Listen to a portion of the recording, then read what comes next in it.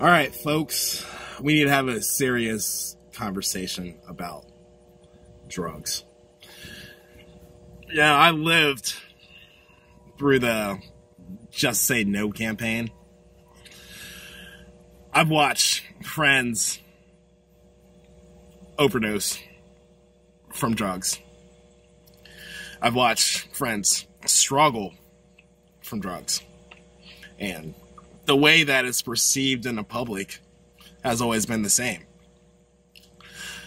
If we just could have kept it away from them, they would still be alive. I'm not understanding how we can go through this so many times and still keep the same narrative when it's wrong over and over and over again. The plant that grows out of the ground that turns into marijuana, cocaine, or any other drug you could think of. I'm just talking about the ones that are illegal right now. Is no more dangerous than the plant that grows out of the ground that turns into that gives you roses and fruits and so on. now we can sit there and talk about the biological effects comparing the two, but we also need to talk about the things that was going on in that person's life that led them to abuse. It's not simply that so and so decided to take these drugs. Why can't we talk about all the other stuff going on in that person's life and have a full conversation so that when the next person gets addicted, we can combat it differently? Instead of doing this, we just simply call them a junkie. We call them a drug addict. We throw them into rehab, expecting them to come out and be a different person. Like the problems that caused them to become addicts aren't still there. Now, the stuff that they do in treatment is amazing because they do all the right stuff in treatment. But the problem is the societal perception when they get out because they're not in that little cocoon where they're getting therapy all day long and they're getting help. They're just thrown out society and society's looking down on them. Oh, he's a junkie. He threw his life away. How could he use drugs? But we need to get to the point to understanding that it's not the drugs. It's the trauma that the person went through that led them to become an addict. I understand this is a thinking exercise. You have to get past the black and white thinking that led to this. And you also have to understand that just because a drug is illegal or legal doesn't mean that it still can't cause you harm. We got sugar addiction. We got an obesity rate through the roof. Tobacco's legal. Alcohol's legal. And those are, all those things are just as addictive, but we don't talk about that because there's not a law slapped on to sugar. You're not thrown in jail if you're caught with a certain amount of sugar. Therefore, it's acceptable to be addicted to caffeine.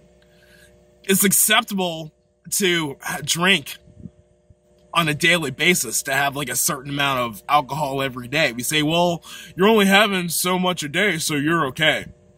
But the minute you go past that limit, you're an alcoholic. You need to go to rehab. You need to fix yourself. Instead of saying, hey, what's going on in your life? What's wrong? I mean, this short-sighted thinking goes into so many other things in life. When we talk about homelessness, we're just simply throw them to the side and we see, and, and we say things like, oh, well, he ruined his life. I don't feel sorry for him. He should have worked harder. He should have made better decisions. We, we don't talk about the trauma that led that the spiral to them to get to that point. Communication, empathy. These are all things that we are born with. This is the reason why little kids want to share toys. We didn't teach them to share. It's just simple. They're like, they share it, it's in us. It's not in us to be cold and angry and hateful and to simply look at somebody and to come up with a story in our head about who they are and not communicate with them to find out about their life before we judge them.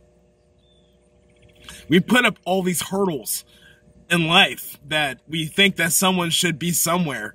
And when it comes back to us, we get depressed and we fall in a hole that we haven't reached these goals. I'm doing this video simply for you to think. I'm not gonna sit there and tell you that you should think that all drugs should be legal. They should be controlled. 100% agree with that. But we can't place it all on the drugs. We need better mental health. We need better access to mental health. Everybody, I think everybody on this planet needs therapy. We need to do something. Because we let all these things boil up inside of us and then it then we project it on other people.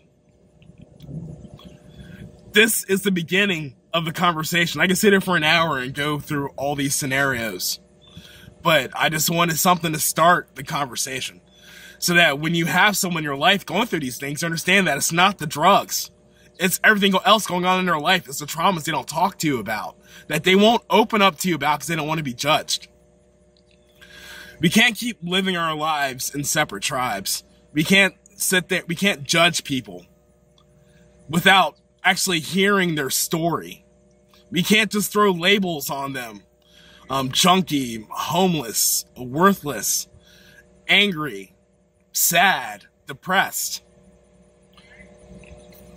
This is the start of our healing as a world, not even as a nation, as a world. We can't heal until we know what the problem was. Problem is. The problem isn't drugs. The problem's all the stuff that leads to someone getting addicted to drugs. It's the sad truth that we won't face and we ignore and we run around and make excuses for. The drug war is a failure because we, because it didn't address these things. We made it into a war where we attack, destroy, kick down doors, throw drugs on the table. That hasn't done anything. Let's try something different, America. My name is Khalfani King. Thank you for attending my Jeep chat.